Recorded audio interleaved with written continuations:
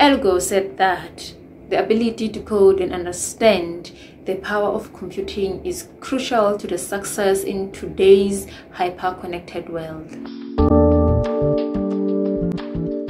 Hi guys, my name is Lindo. I understand that there are so many people who wish to have the computer science degree so that they can get the job that they wanted, but because of their maybe grade 12 performance, they don't really qualify to get into traditional universities to get that degree.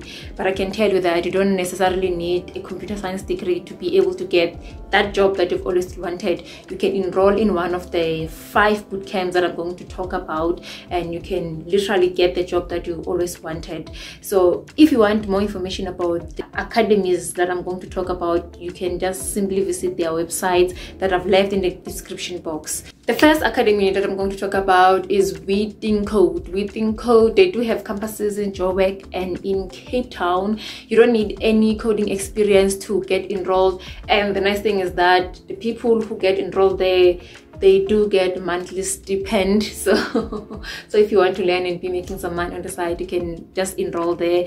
The course will take about two years to complete.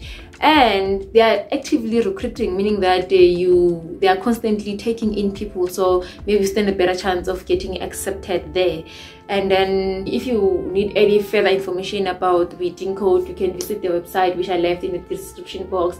Now the second one that we talk about is Umuzi. Umuzi was founded you know to bring the coding skills to the unemployed South Africans so that they can help them to have some skills that can probably help them to get a job. And I can tell you that 80% of their alumni they get a job. So you are likely to get a job if you get enrolled there.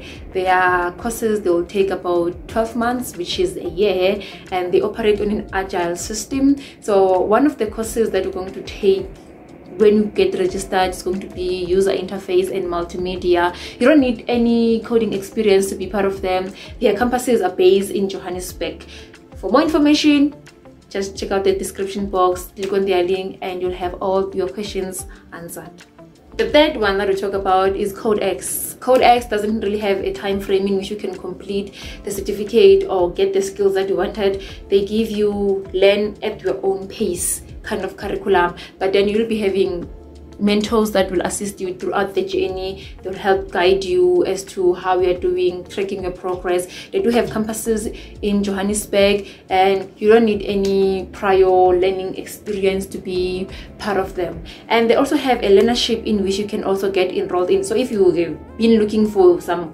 coding learnership codex is just the perfect place for you. The fourth one that i'm going to talk about is IXperience. they have campuses in Cape Town and the rest of their campuses are located in Europe.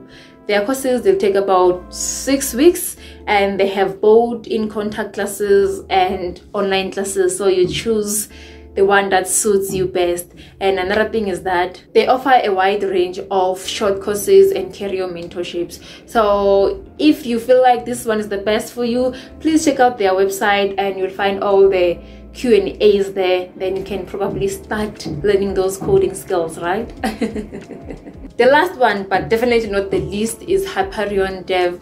This one is online based, but you'll also be having some experts and mentors who are going to guide you through the journey. It will take you about three months to learn. So if you want more information about HyperionDev, please visit our website. Also check them on their social media platforms to be most familiar with the information that is needed and all of the stuff that is required for you to get enrolled. Some of the stuff i might have not mentioned here so it is nice for you to really do some much more deep research before you enroll in any of them. So i wish you all the best and remember that maybe if you did not qualify to get that computer science degree at the traditional university you still have a chance. Like i said most of them here they don't really require any prior experience for you to get enrolled. They're just willing to teach you from the basics to until you are satisfied with your skills. And you can probably land that job that industry job that you've been looking for.